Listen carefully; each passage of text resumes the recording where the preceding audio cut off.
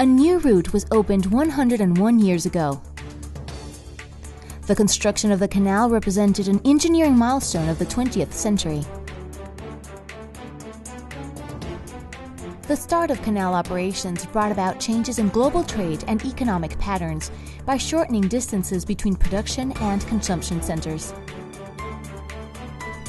Since its opening, more than 1 million vessels have transited through the 80 kilometer long canal. The Panama Canal expansion, which is the most important project in recent years, is nearing its completion. The waterway that connects the Atlantic and Pacific Ocean is increasing its capacity through the construction of a third lane, in conjunction with the deepening and widening of its navigational channels to allow the passage of large Neo Panamax vessels. Over 40,000 men and women have left their mark on this expansion program since the launching of works in 2007. The opening of the expanded canal in 2016 marks the culmination of several years of efforts. The third set of locks project, the most complex component of the expansion program, is coming to an end, while keeping up the pace during the testing phase. The process to insert the 16 rolling gates in the respective lockheads at Cocoli and Agua Clara locks started in December 2014 and finished in April 2015. 152 valves that will control the flow of water in the chambers of both structures were also installed. After flooding all locks chambers, gate commissioning tests were started. The first movement test was conducted on gate number 8 in Agua Clara, continuing with the remaining gates.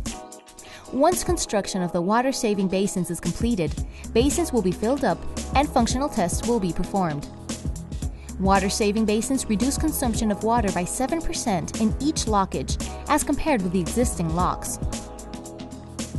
Excavators were used to remove the plugs, which kept the waters of the oceans and Gatun Lake out of the construction sites, and the remaining material was removed through dredging.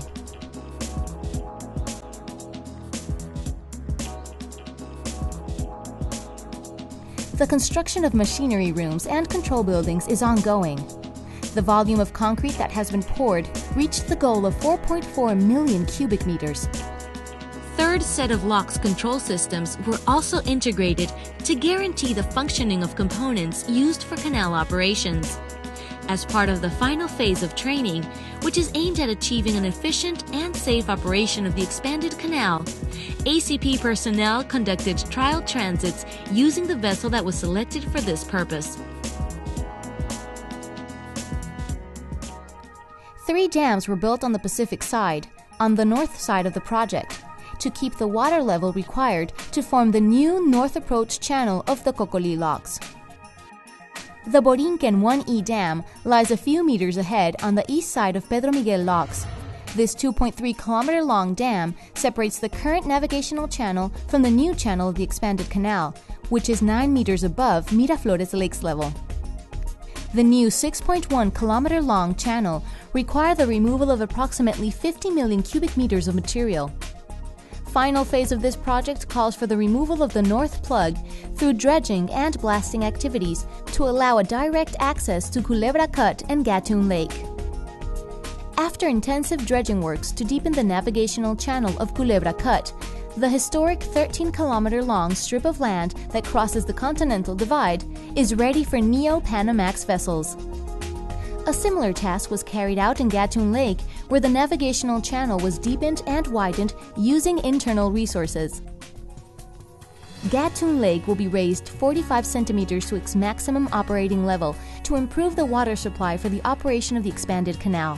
The project will add 200 million cubic meters to the water storage capacity. 33 range towers have been installed along canal banks to ensure the safe navigation of Neo-Panamax vessels. These range towers will replace the signals and lighthouses that until now have been in operation at the waterway. The implementation of environmental protection measures is a constant topic at the expansion. To date, more than 900 hectares have been reforested in national parks throughout Panama and more than 5,000 animals have been rescued and relocated in natural habitats. History and science also have their space.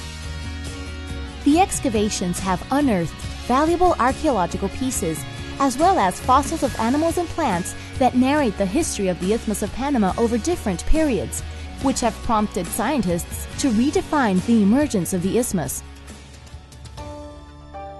Eight years have passed since the beginning of works under the Panama Canal Expansion Program.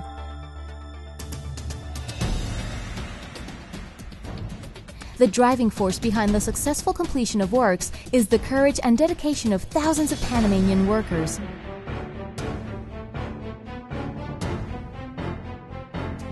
Each cubic meter of excavated and dredged rock has contributed to the progress of this flagship project. With the expansion program, the Panama Canal will redefine maritime industry patterns, strengthening our commitment to water management and enhancing the importance of this century-old route built in Panama. A young and enterprising nation,